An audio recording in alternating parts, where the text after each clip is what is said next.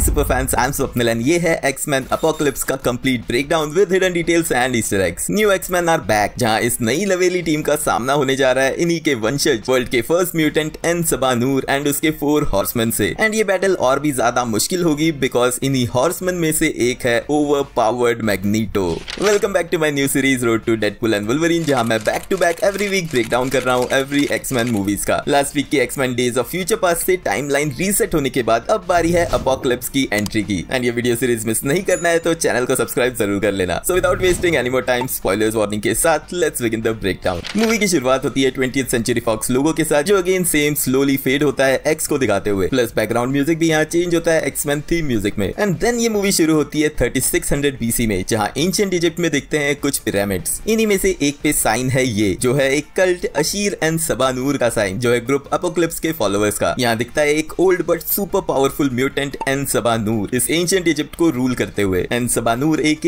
Apocalypse Marvel comics का काफ़ी popular super villain है, जो इंट्रोड्यूस हुआ था 1986 की एक्स फैक्टर इशू 5 में। अब सुपर पावरफुल होने की वजह से उसके पास मल्टीपल पावर्स हैं, जिन्हें वीडियो में आगे विद डेमो एक्सप्लेन करूँगा। यही दिखते हैं अपोक्लिप्स के एंशियंट हॉर्समैन ये कॉमिक्स एंड माइथोलॉजी में बिलोंग करने वाले ट्रेडिशनल फोर हॉर्समैन है वॉर डेथ फेमीन यानी अकाल एंड पेस्टिलेंस यानी कि महामारी, जैसे कोविड एंशियंट इजिप्ट वाला ये ओपनिंग सीन इंस्पायर्ड है 1955 की movie land of the pharaohs से, जहाँ इसी तरह के great pyramids of Egypt and sliding stone blocks use करके कोलैप्सिंग स्ट्रक्चर्स दिखाए गए थे, जो थोड़ी देर में हमें इस मूवी में भी देखने मिलेंगे। यहाँ पिरामिड में हो रही है एक सेरेमनी अपोकलिप्स के कॉन्शियसनेस को एक दूसरे आदमी की बॉडी में ट्रांसफ़र करने के लिए, जिसके पास है हीलिंग फैक्टर वैसे ही जैसे डेडपुल एंड वुलवरीन के पास भी है। अब ये अपोकलिप्स की कॉमिक्स वाली पावर नहीं है, लेकिन कॉमिक्स में ऐसे एक ही बार हुआ था 1990s की अपोकलिप्स द 12 में, जहाँ अपोकलिप्स ने अपना कॉन्शियसनेस नेट ग्रे की बॉडी में ट्रांसफ़र किया था। यहाँ जो टेक्नोलॉजी यूज़ की जा रही है, वो डेफिनेटली मैच करती है सेलेस्टियल्स की टेक्नोलॉजी से, जो एमसीयू में रिलीज़ हुई इटर्नल्स में इस मूवी के पाँच साल बाद देखने मिला। कॉमिक्स में भी सेलेस्टियल्स की एंशियंट एलियन स्पीशीज ने ही इस विलन की हेल्प की थी, उसे और भी ज़्यादा पावरफुल बनाने के लिए। ऑल्सो यस ये पिरामिड का टॉप मैच करता है इटर्नल्स के डोमो स्पेसशिप के डिज़ाइन से। अपोकलिप्स एंड उसके फोर हॉर्समैन को उसी के फॉलोअर्स बीट्रे करते हैं एंड इसी कॉन्शियसनेस ट्रांसफ़र प्रोसेस में ही उसे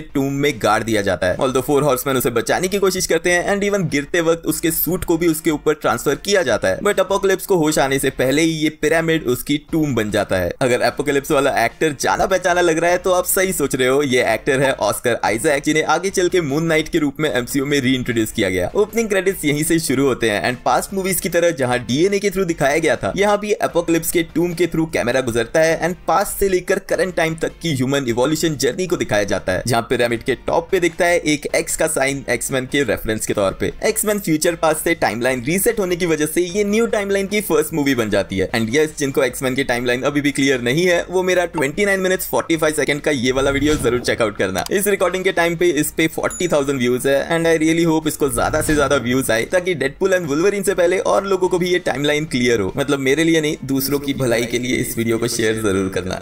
अच्छा टाइमलाइन में 10 साल आगे 1983 में यंग स्कॉट समर डिस्कवर करता है अपनी पावर्स अपने स्कूल के बाथरूम में। उसकी क्लास में 10 साल पहले वॉशिंगटन में हुए उसी इंसिडेंट की फ़ोटो न्यूज़पेपर कटिंग से दिखाई जा रही है, जो सीन्स हमें देखने मिले थे एक्समैन फ्यूचर पास्ट में। ऑफ़ कोर्स उसकी पावर्स है अपनी आँखों से काइनेटिक एनर्जी ब्लास्ट करना, जो यहाँ उसके बुली को भी देखने मिलता है। देन उसका बिग ब्रदर एलेक्स समर्स उसे लेके जाता है प्रोफेसर चार्ल्स एक्सेवियर के इंस्टीट्यूट में, ताकि जेवियर्स एंड हैंक मकॉय उससे म्यूटेशन कंट्रोल करना सिखा सके। यस फाइनली इस मूवी में जाके कॉमिक से मैच करते हुए एलेक्स एंड स्कॉट के रिलेशन को कंफर्म किया गया है। स्कूल में जब चार्ल्स एक्सेवियर फ़र्स्ट टाइम दिखता है। तब वो पढ़ा रहा है एक line author T H White की the once and future king novel से। इसी नॉवल को मैग्नीटो पढ़ रहा था एक्समैन यूनाइटेड में उसकी प्रिजन में। ऑल्सो मुझे रिसेंटली पता चला कि कॉमिक्स में भी ये एक्सेवियर की फेवरेट बुक थी। स्कॉट स्कूल में टकराता है telepathic and telekinetic mutant Jean Grey से। एंड उसकी पावर्स का एक डेमो भी हमें देखने मिल जाता है। ईस्ट बर्लिन में shape shifting mutant Raven aka Mystique पहुँचती है एक केज्ड मैच देखने, जहाँ म्यूटेंट्स की फाइट हो रही है एक क्लोज्ड इलेक्ट्रिक केज में। सिमिलर इंट्रोडक्शन मिला था हमें एक्समैन 2000 में। लोगन का भी ऐसे ही एक फाइट सीन के साथ। इनमें फ़र्स्ट फाइट जीतता है एंजल जो नॉकआउट करता है ब्लॉब को। वॉरेन वर्थिंगटन थ्री ए के एंजल की पावर्स है flight and super strong wings आगे चल के उसे कॉमिक्स के एक्यूरेट आर्क एंजल के मेटेलिक लुक वाले विंग्स भी मिलेंगे। वहीं ब्लॉब सिर्फ़ पीछे से गिरते हुए दिखता है बट यहाँ उसकी कॉस्ट्यूम एग्जैक्टली मैच करती है कॉमिक से। एंजल का नेक्स्ट ओपोनेंट है नाइट क्रॉलर जिसकी पावर्स है टेलीपोर्ट करना खुद को एंड साथ ही में उसकी प्रोक्सिमिटी में मौजूद उसे टच करने वालों को भी। उसे लाया जाता है एक बॉक्स में बंद करके, जिसे भी बाय द वे इलेक्ट्रिक्यूट किया गया था। एक्समैन यूनाइटेड में में जब Jean and Storm Nightcrawler को पकड़ते हैं तो स्टॉम की इलेक्ट्रिक करंट की वजह से वो टेलीपोर्ट नहीं कर पाता। एंड यहाँ उसी थेरी को कंटिन्यू किया गया है। कॉमिक्स में मिस्टीक नाइट क्रॉलर की मदर है। और यहाँ ऐसा कनेक्शन नहीं दिखाया गया, वो सिर्फ़ आती है उसकी मदद करने ताकि उसे यहाँ से निकाल सके। नोटिसेबल डिटेल यहाँ है मिस्टीक की कॉस्ट्यूम जो पहले गार्ड्स को डिस्ट्रैक्ट करने के लिए क्लब ड्रेस में होती है एंड देन फाइट के टाइम वो क्विकली स्विच कर जाती है दूसरे कपड़ों में। मीन पोलैंड में एरिक लैंचर एक शांत ज़िंदगी जीते हुए रहता है अपनी wife Magda and daughter Nina के साथ, जिसकी पावर्स यहाँ पे दिखाई गई है। एनिमल से कम्युनिकेट करने वाली। कॉमिक्स में उसकी बेटी आन्या लैंचर बचपन में ही एक मॉब की वजह से मारी गई थी, जिसके बाद मैग्नीटो ने पूरी सिटी के लोगों को ही मार दिया था। एंड उसके बाद उसकी वाइफ उसे डर से छोड़ के भाग गई एंड उसे दो ट्विंस पैदा हुए जो थे पीटर एंड वांडा एरिक यहाँ काम करता है एक फैक्ट्री में, जहाँ अपना नाम और अपनी पावर्स वो पूरी दुनिया से छुपा के बैठा है। इवन अपनी फैमिली से भी। इसी के पैरेलल इजिप्ट में दिखती है मोयरा मैकटैगर्ट वही सीआईए एजेंट जिसका चक्कर चल रहा था चार्ल्स एक्सेवियर के साथ फ़र्स्ट क्लास के दौरान। एंड जिसके एंड में उसकी याददाश्त मिटा दी गई थी। वो अपोक्लिप्स के फॉलोवर्स को ट्रैक कर रही है, जो क्लियर होता है उनकी गर्दन पे उसी पिरामिड वाले मार्क की वजह से। इनका पीछा करते वो पहुँचती है एक गुफा में एंड एक्चुअल में उसी की गलती की वजह से सनलाइट यहाँ एंटर होती है एंड अपोक्लिप्स जाग जाता है। इससे आता है एक अर्थक्वेक जिसका इफ़ेक्ट एरिक भी अपनी फैक्ट्री में फील करता है एंड एक्सीडेंटल डेथ से एक वर्कर को बचाने के टाइम उसकी पावर्स एक्सपोज हो जाती है। इसी अवेकनिंग को जीन भी मेंशन में फील करती है एंड चार्ल्स सेरिब्रो के थ्रू इसकी डिटेल्स पता करता है। बट एरिक की लाइफ में और प्रॉब्लम्स क्रिएट होती है जब पुलिस उसे कैप्चर करने आती है एंड वो उसकी बेटी को हॉस्टेज बनाते हैं। यहाँ डर से एरिक की बेटी की पावर्स एनहेंस होने लगती है। और इस सीन में वो एरिक की तरफ़ वैसे ही हाथ बढ़ाती है, जैसे एरिक ने अपने बचपन में नाजी कैंप में बढ़ाया था अपनी मदर की तरफ़। पावर्स से डिस्ट्रैक्ट होकर पुलिस एक्सीडेंटली वुडन एरो से उसकी वाइफ एंड बेटी को मार देती है। एंड एनरेज एरिक बेटी के मेटेलिक लॉकेट से सभी पुलिसमैन को मार देता है। इजिप्ट में अपोकलिप्स मिलता है एक यंग और मुंद्रो एक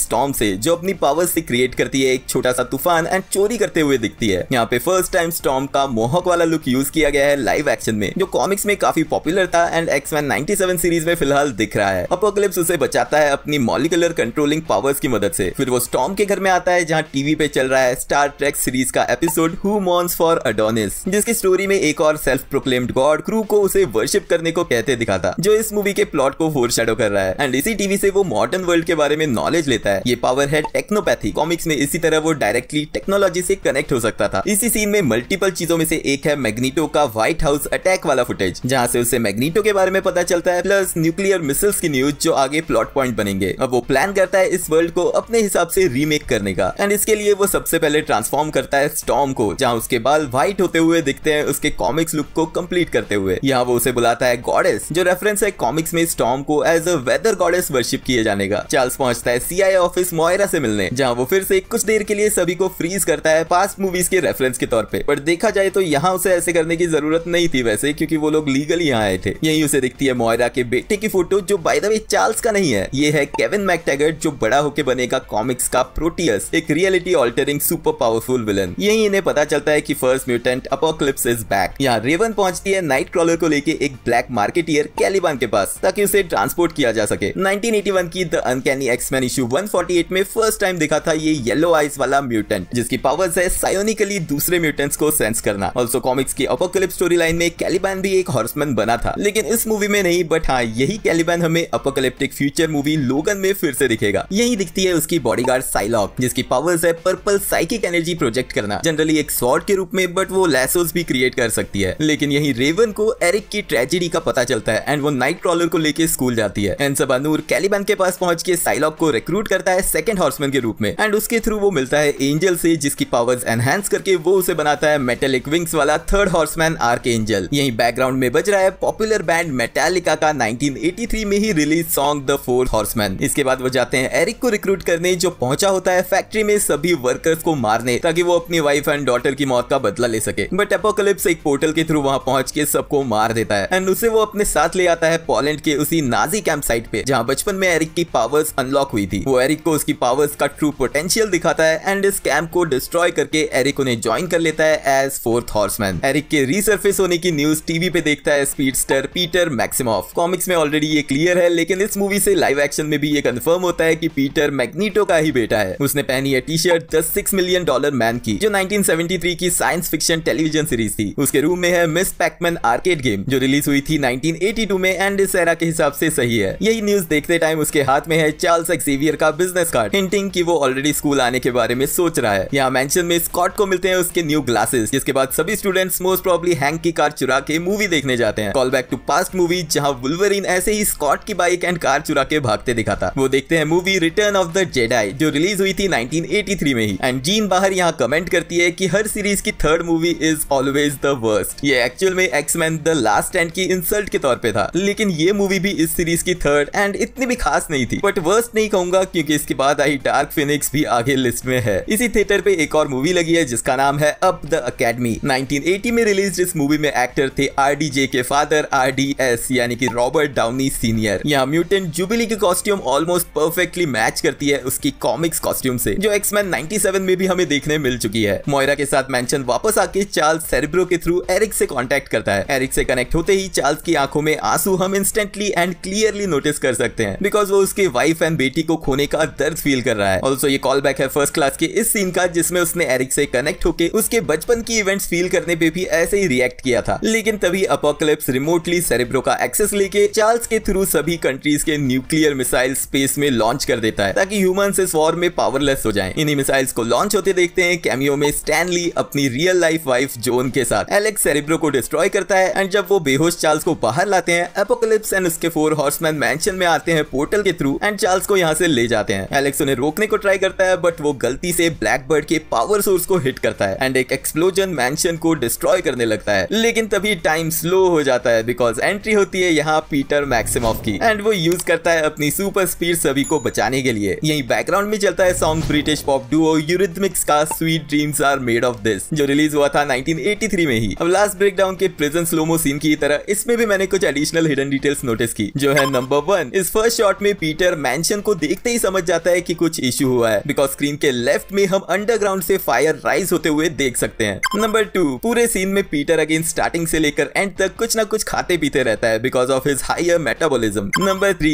Cerebro room के बाहर वो सबसे पहले ब्लास्ट के टुकड़े मूव करता है जो सीन एग्जैक्टली रेप्लीकेट करता है उसके पिछले पार्ट वाले बुलेट्स मूव करने वाले इस सीन को. नंबर फोर यहाँ बच्चों के साथ वो एक डॉग एंड इन तीन गोल्ड फिशेस को भी बचाता है. नंबर फाइव सीन के एंड में पता चलता है कि पीटर ने सबको बचा लिया एक्सेप्ट एलेक्स एंड अगर स्लोमो में इस ब्लास्ट को फिर से देखो तो ब्लास्ट जब तक हैंक को दिखता है, तब तक ऑलरेडी फायर एलेक्स को कवर कर चुकी है. एंड बिकॉज़ अंडरग्राउंड फायर इस पॉइंट के बाद ही ऊपर आती है। तो किसी भी केस में पीटर एलेक्स को बचा नहीं सकता था। बिकॉज़ विदाउट फायर ऊपर दिखे, उसे पता ही नहीं चलता कि यहाँ ब्लास्ट हुआ है। यही पहुँचती है कर्नल विलियम स्ट्राइकर की आर्मी जो सेरिब्रो की लोकेशन ट्रैक करके आई है। एंड वो कैप्चर करते हैं Hank Raven Peter and Moira को। स्कॉट एंड जीन कर्ट की पावर से हेलीकॉप्टर में एक केज में चले जाते हैं। बट वो इलेक्ट्रिक्यूटेड होने की वजह से वहीं फंस जाते हैं। हेलीकॉप्टर से सभी पहुँचते हैं एल्कली लेक के उसी डैम वाली फैसिलिटी में। एपोकलिप्स कैप्चर चार्ल्स के थ्रू पूरे वर्ल्ड में एक मैसेज भेजता है डिस्ट्रक्शन का। लेकिन चार्ल्स इसी मैसेज में पैरेलली जीन को अपनी लोकेशन भी बता देता है। यहीं पे जीन स्ट्राइकर के एक्सपेरिमेंट वेपन एक्स को रिलीज़ करती है। और हमें अगेन कैमियो में दिखता है वुलवरीन जिसका ये लुक एग्जैक्टली मैच करता है कॉमिक्स की वेपन एक्स स्टोरी लाइन में दिखे उसके लुक से। अनोइंगली उनकी मदद करते हुए वुलवरीन सभी गार्ड्स को मार देता है। यहीं पे कैमियो में दिखते हैं मूवी के डायरेक्टर ब्रायन सिंगर एक गार्ड के रूप में मशीन गन चलाते हुए, जिनकी डेथ ऑफ़ स्क्रीन होती है। जाने से पहले जीन वुलवरीन की मेमोरीज का कुछ पार्ट रिस्टोर कर देती है। फिर बाकियों को छुड़ा के वो जाते हैं कायरो चार्ल्स को बचाने। यहाँ पे एरिक को एपोक्लिप्स देता है एक न्यूली क्रिएटेड हेलमेट एंड वो अपनी पावर से अर्थ की मैग्नेटिक फ़ील्ड डिस्टर्ब करता है। देन एपोक्लिप्स अपना कॉन्शियसनेस चार्ल्स की बॉडी में ट्रांसफ़र करना शुरू करता है ताकि वो उसकी साइकिक पावर्स भी पा सके। एंड यहीं पर चार्ल्स टकला होता है, जिसके बाद उसे मिलेगा उसका फ्यूचर का लुक बाहर फाइट होती है Cyclops versus Jean Psylocke versus Beast and rematch होता है नाइट क्रॉलर वर्सेस एंजल का। नाइट क्रॉलर के थ्रू चार्ल्स को छुड़ा के वो प्लेन से भागने की कोशिश करते हैं but Angel and Psylocke plane पे अटैक करते हैं। एंड नाइट क्रॉलर सभी को एक साथ टेलीपोर्ट करके बचाता है बट एंजल इसी प्लेन क्रैश में मारा जाता है। अपोकलिप्स अब खुद उतरता है बैटल में, जिसे चार्ल्स टेलीपैथिकली फाइट करता है एस्ट्रल प्लेन में एंड फिजिकली उससे फाइट करता है क्विक सिल्वर जिसके इंजर्ड होने पे एरिक जो मिस्टिक की स्पीच के बाद अपनी गलती समझ चुका है, वो अपोकलिप्स को बिट्रे करके उसी पे अटैक करता है। यहाँ वो लेता है एक मस्त एंट्री इस मेटल एक्स साइन के साथ एंड देन स्कॉट की मदद से वो उसे एक ही जगह पे पिन डाउन कर देते हैं। चार्ल्स उससे मेंटल बैटल में हारते हुए जीन की मदद माँगता है एंड वो अनलिश करती है अपनी फिनिक्स पावर्स अपनी हार सामने देख के टेलीपोर्ट करते हुए अपोकलिप्स को रोकने के लिए लास्ट मोमेंट पे आती है स्टॉम भी, जो एक्चुअल में अपोकलिप्स के डिस्ट्रक्टिव एक्शन की वजह से उसके अगेंस्ट हो चुकी है। सभी की कंबाइंड पावर से अपोकलिप्स फाइनली डिस्ट्रॉय होके खत्म हो जाता है। उसके आखिरी हॉर्समैन साइलॉक यहाँ से भाग जाती है। चार्ल्स फिर मोयरा की मेमोरीज रिस्टोर करता है एंड वो अपनी रिलेशनशिप कंटिन्यू करते हैं। अगले दिनों में एरिक एंड जीन की पावर से वो स्कूल को रिकंस्ट्रक्ट करते हैं एंड पीटर एरिक को नहीं बताता कि वो उसका बेटा है। बट वो और औरोरो डिसाइड करते हैं, यही कभी स्कूल में रुकने का। पीटर के पैर पे बंधे प्लास्टर में दो इंटरेस्टिंग चीज़ें हैं। पहली ये आर्केड गेमिंग मशीन जैसे उसके रूम में थी। एंड दूसरा ये नाम इवन जो है इस कैरेक्टर को प्ले कर रहे एक्टर इवन पीटर्स का। अब डेंजर रूम के पास चार्ल्स एरिक से लास्ट टाइम मिलकर उसे रोकने की कोशिश करता है। यहाँ वो आता है उसी एग्जैक्ट व्हील में जो ओरिजिनल एक्समैन ट्रिलॉजी में ओल्ड प्रोफेसर एक्स के पास थी। एरिक उसका ऑफ़र रिजेक्ट करके उससे कहता है wake you up in the middle of the night, the feeling that one day they'll come for you and your children? I feel a great swell of pity for the poor soul that comes to my school looking for trouble. ये dialogue exactly exactly उठाया गया है X Men 2000 movie से जहां यही conversation हुआ था magneto and professor X के बीच and come for you and your children. What do you do when you wake up to that? I feel a great swell of pity for the poor soul who comes to that school looking for trouble. danger room के इस scene में सभी young mutants दिखते हैं अपनी new costumes में। But actual में ये सभी कॉस्ट्यूम कॉमिक्स से मैचिंग है। नाइट क्रॉलर की कॉस्ट्यूम उसकी कॉमिक्स ओरिजिन से मैच होती है। रेवन की व्हाइट कॉस्ट्यूम भी ऐसे ही कॉमिक्स में दिख चुकी है। इवन क्विक सिल्वर के कॉमिक्स में दिखे ये गॉगल्स एंड साइक्लोप्स की भी कॉस्ट्यूम इंक्लूडिंग उसके वाइजर्स कॉमिक्स से एक्यूरेटली मैच होते हैं। अब 1973 के बैटल से उठाए हुए सेंटिनल्स यूज़ करके हैंक एंड रेवन ट्रेन करते हैं इस न्यू एक्समैन टीम के मेंबर्स को, जहाँ डोर क्लोज होने के साथ ये मूवी खत्म होती है। यहाँ भी दिखता है एक पोस्ट क्रेडिट सीन जिसमें कुछ लोग वेपन एक्स फैसिलिटी में आते हैं रिट्रीव करने ब्लड सैंपल वेपन एक्स के एंड ये लोग बिलोंग करते हैं एस एक्स कॉर्पोरेशन से। अब ऑब्वियसली ये हिंट थी वुल्वरीन के ब्लड से फ्यूचर में एक्स ट्वेंटी बनाने की, जो उसी की एक यंगर वुमेन वेरियंट है एंड वो हमें देखने मिली लोगन मूवी में। But Essex corporation company है कॉमिक्स के Nathaniel S x aka mister sinister की। कॉमिक्स का ये विलन एक्समैन का काफ़ी पॉपुलर विलन रहा है एंड एक्समैन 97 में भी इसका बड़ा रोल हमें देखने मिला। बट देन इसकी स्टोरी लोगन में या उसके आगे कंटिन्यू नहीं की गई। रूमर्स है कि एमसीयू के एक्समैन फ्यूचर के बिग विलन के रूप में मिस्टर सिनेस्टर वापसी करेगा। बट देन यही खत्म होती है फाइनली ये मूवी एंड मेरा वीडियो भी। एज यूजुअल ये break down and hidden details का वीडियो आपको कैसा लगा वो कमेंट्स में ज़रूर बताना। जो भी कमेंट्स में टाइम स्टैम्प ऐड करेगा वो कमेंट में पिन करूँगा। नेक्स्ट टाइम स्क्रीन से रिकमेंडेड वीडियो ज़रूर चेकआउट करना एंड वीडियो अगर एंड तक देख रहे हो तो लाइक भी कर देना क्योंकि वो एकदम फ्री है। मिलते हैं नेक्स्ट वीडियो में।